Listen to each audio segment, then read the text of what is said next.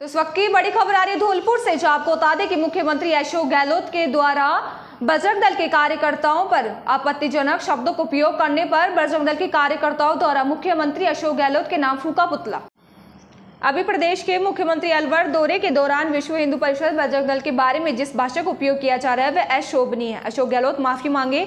गो तस्करों की हत्या के बाद बजरंग दल के जयपुर प्रांत संयोजक को घर में घुसकर जान से मारने की धमकी में शामिल, जेहादी सोच वालों के खिलाफ कार्रवाई संगठन का स्पष्ट रही है।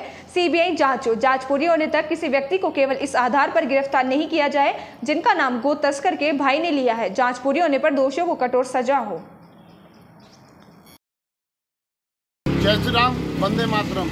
आज धौलपुर में विश्व परिषद बजरंग दल के द्वारा राज्यपाल महोदय को एक ज्ञापन दिया गया है। ज्ञापन में जिस प्रकार अशोक गहलोत ने हमारे संगठन के लिए जो अनगढ़ शब्द बोले हैं, उनके लिए गहलोत सरकार माफ़ी मांगे।